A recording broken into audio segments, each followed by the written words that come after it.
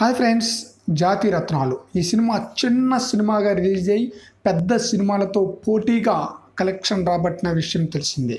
నవీన్ పోల్శెట్టి రాహుల్ రామకృష్ణ ప్రియదర్శన్ వీళ్ళ ముగ్గురిని ప్రధానంగా తీసుకొని డైరెక్టర్ చిన్నపాటి కామెడీ సినిమా జాతి రత్నాలు తీశాడు. అద్భుతమైన కలెక్షన్ రాబట్టింది.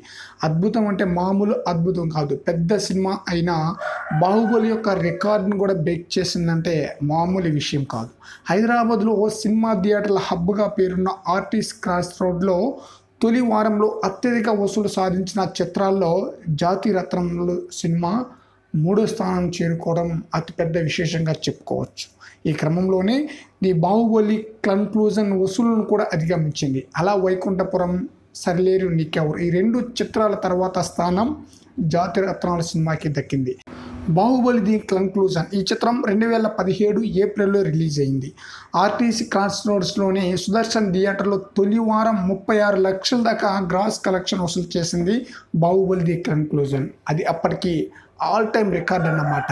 ఆ రికార్డును గత ఏడాది సంక్రాంతి సినిమాలుగా రిలీజ్ అయిన అలా వైకుంఠపురంలో సరిలేరు నీకెవరు ఈ రెండు చిత్రాలు అధిగమించింది అలా వైకుంఠపురంలో నలభై పాయింట్ ఎనిమిది మూడు లక్షల గ్రాస్ కలెక్షన్ సాధించి అగ్రస్థానంలో నిలవగా సరిలేరు నీకెవరు? దానికి చేరువుగా వచ్చింది. ఆ చిత్రం నలభై పాయింట్ డెబ్బై ఆరు లక్షలు కొల్లగొట్టింది. ప్రస్తుతం దేవి థియేటర్లో ఆడుతున్న జాతి రత్నాలు సినిమా తొలి వారం రోజుల్లోనే ముప్పై ఎనిమిది పాయింట్ ఆరు మూడు లక్షల గ్రాస్ కలెక్షన్ రాబట్టి మూడో స్థానానికి చేరుకుంది. బాహుబలి నాలుగో స్థానంలో కొనసాగుతుండగా ఐదవ స్థానంలో మహర్షి చిత్రం ఆ సినిమా వచ్చేసి ముప్పై రెండు లక్షలు కలెక్ట్ చేసింది. అయితే మనం ఇక్కడ ముఖ్యంగా చెప్పుకోవాల్సింది ఏంటంటే బాహుబలి టూతో పోలిస్తే టాప్ ఫైవ్లో అన్ని సినిమాలకు టికెట్ ధరలు బాగా పెరిగాయి. బాగా అంటే దాదాపుగా యాభై శాతం ధరలు పెంచడంతో వీటి గ్రాస్ పెరిగింది. కాబట్టి నిజంగా చూస్తే బాహుబలి టూని ఈ సినిమాలు ఏవి కొట్టినట్లు కాదు. అయితే టాప్ ఫైవ్లో ఉన్న మిగతా చిత్రాలన్నీ పెద్ద పెద్ద హీరోలు నటించినవి.